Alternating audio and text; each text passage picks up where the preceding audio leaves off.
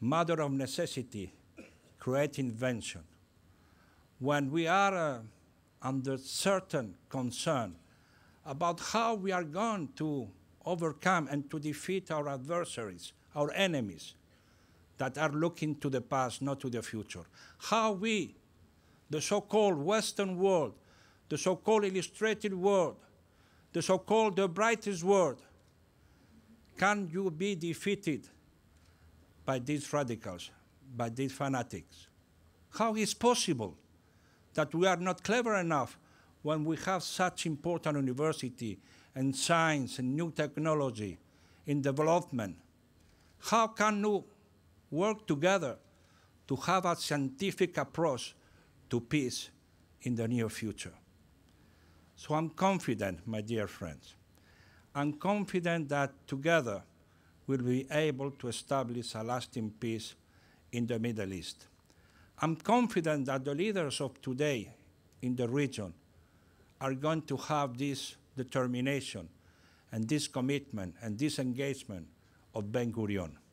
I'm confident that Prime Minister Netanyahu, when he said we are going to accept the two-state solution, and the President Abbas or the leader of Syria, Bashar al-Assad, or whoever is in the region wants really to advance in this lasting peace so eager for all of us.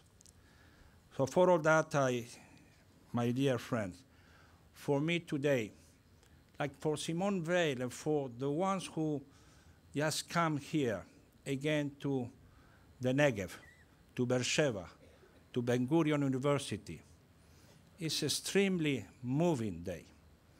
It's extremely moving day full of symbolism. Symbolism of this man, Ben Gurion, that make a dream a reality. Symbolism of this region of the Negev that has converted desert in a flourishing garden.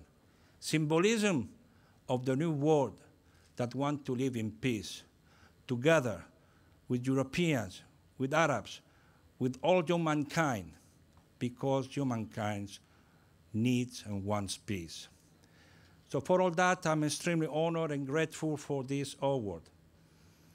You can be sure, the dear friend of Ben Gurion University, that after this ceremony, after this award, I will have still even more moral strength, moral, moral inspiration, more determination to win this battle for peace. And together we will succeed. Thank you very much.